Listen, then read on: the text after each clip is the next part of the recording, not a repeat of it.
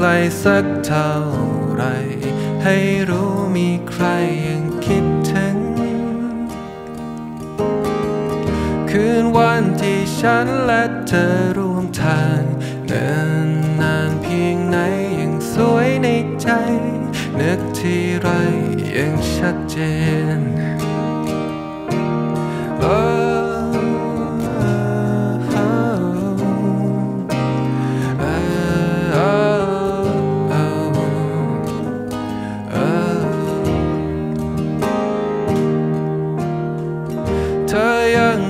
ฉันเมื่อในวันก่อนจะอยู่ตรงนี้กับฉันนานๆแล้วใหญ่รีบจากกันไปทิ้งไว้เพียงรักในความทรงจำที่ยังเด่นชัดในหัวใจ ฉันคิดถึงเธอเหลือเกินตั้ง ดูแปลกไป พยายามฝืนใจ ยอมรับความจริงให้ไวแต่บางคราวน้ำตายังเอ่อไม่รู้ต้องทำอย่างไร หวังในใจ จะได้พบกันสักวันหนึ่ง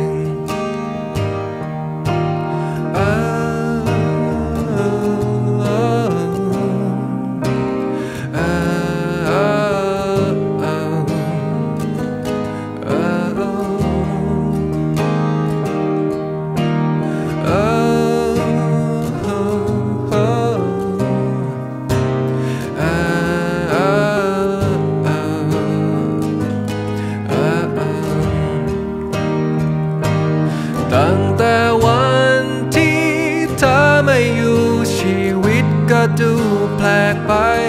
พยายามฝืนใจ ยอมรับความจริงให้ไว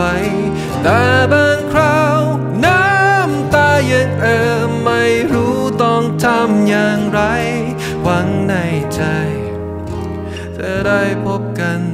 สักวันหนึ่ง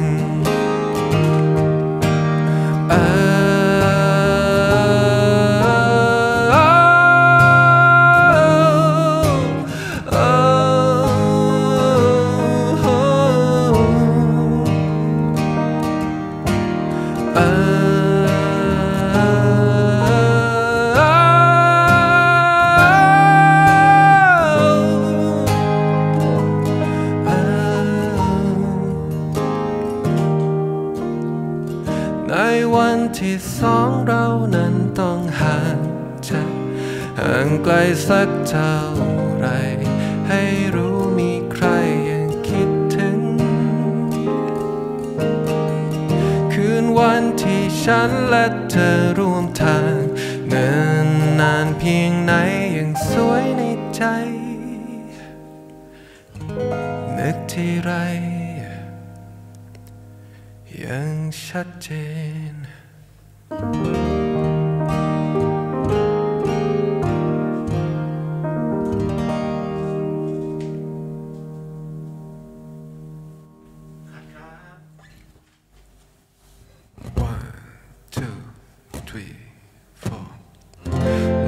บอกก็รู้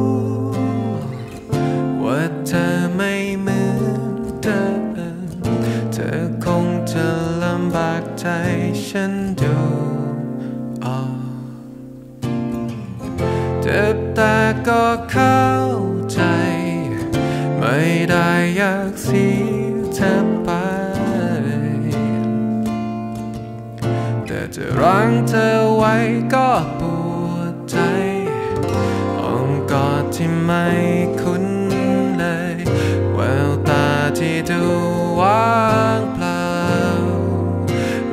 ช้าคงไม่ต่างกัน อย่าเลยอย่าฝืนอีกเลย อย่าเลยอย่าทรมาน ไม่รักนั้นไม่ใช่ความผิดเธอเลยรู้ไหม อย่าเป็นห่วงฉันอีกเลย อย่าทำให้มันยากเลย ฉันไว้ตรงนี้คนเดียวฉันไม่เป็นไร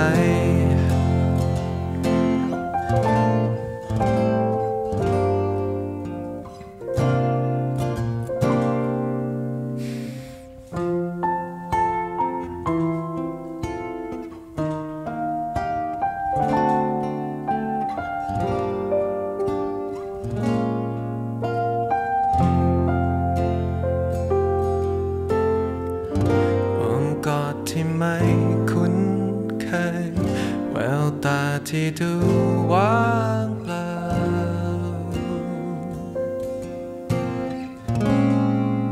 ที่เหลือแค่ความผูกพันอ้าวอย่าเลยอย่าฝืนอีกเลยอย่าเลยอย่าทร นั้นไม่ใช่ความผิดเธอเลย รู้ไหม อย่าเป็นห่วงฉันอีกเลย อย่าทำให้มันยากเลย ฉันพร้อมที่จะรับความเจ็บนี้โอ้โหอย่าเลยอย่าฟื้นอีกเลย อย่าเลยอย่าทรมาน ไม่รักนั้นไม่ใช่ความผิดเธอเลยรู้ไหม อย่าเป็นห่วงฉันอีกเลย อย่าทำให้มันยากเลยทิ้งฉันไว้ตรงนี้คนเดียวฉันไม่เป็นไร ทิ้งฉันไว้ตรงนี้คนเดียว ทิ้งฉันไว้ตรงนี้แค่คนเดียว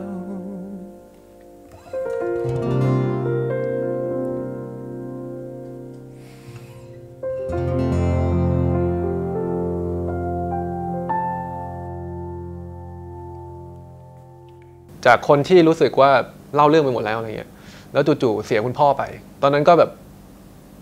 แย่นะ แย่แบบ แย่เลย เพราะว่ามันเป็นเรื่อง การสูญเสียที่ไม่ได้เตรียมตัวเลย แล้วก็แบบมันรุนแรงมาก จนทำให้ผมแย่ไป หลายเดือน พอมันอารมณ์นั้นมันเริ่มเราเข้าใจมันมากขึ้นเข้าใจความทุกข์นี้มากขึ้นอะไรเงี้ยพอมองย้อนกลับไป ผมก็เลยแบบ เออ มันเป็นก้อนความรู้สึกหนึ่งนี่หว่าอะไรเงี้ยผมก็เลยหยิบมันมาเริ่มเขียนเพลงอะไรเงี้ยแล้วพอมันเรียลผมก็เล่ามันออกมาได้ง่ายขึ้น เป็นที่มาของเพลงวันที่เธอไม่อยู่ครับตั้งแต่วันที่เธอไม่อยู่สวัสดีครับ ผมตินนะครับเอ่อเป็น ตอนนี้เป็นศิลปินอยู่ค่าย Holy Fox ครับ ถ้าให้นิยามดนตรีของตินนะครับผมพยายามให้ดนตรีและเนื้อหาของตินมีความออร์แกนิก พยายามให้มันดูโฮมเมดไม่ต้องประดิษฐ์อะไรอย่างเงี้ยครับเล่าเรื่องง่ายๆอะไรอย่างเงี้ยครับคำว่าแรงบันดาลใจมันก็ก็คงใช่นะ แต่มันเป็นเรื่องที่ที่อยากระบายมากกว่า จากคนที่รู้สึกว่าเฉยๆ พยายามจะเล่าเรื่องสักเรื่อง พยายามจะเล่าว่ามันเจ็บอย่างนั้นอย่างนี้อะไรเงี้ย ซึ่งมันผ่านไปหมดแล้วเราไม่รู้สึกงั้นอะแล้วจู่ๆวันหนึ่งแม่งโคตรเจ็บอะไรเงี้ยแม่งโคตรจริงอะไรเงี้ยมันอยากจะเขียนระบายความคิดถึงออกมาอย่างเงี้ยมันก็ก็เลยเล่าออกมาอย่าลอย่าฝืนอีกเลยอย่าลอยอย่าฝืนจะเป็นเพลงที่เขียนถึงความรักในอดีตแล้วกันเป็นความรักในอดีตที่ใครๆก็อาจจะเจอสถานการณ์แบบนี้คือการที่คนสองคนอยู่ด้วยกันอะ แต่ว่าคนหนึ่งใจเขาไม่อยู่แล้วอะไรเงี้ยมันเป็นเรื่องซิมเพิลนะครับเพลงนี้ค่อนข้างจะเล่าเรื่องความรักง่ายๆอะไรเงี้ยในเวอร์ชัน The Solo ผมคิดว่าเอาจริงๆความพิเศษคือมันมัน real ครับ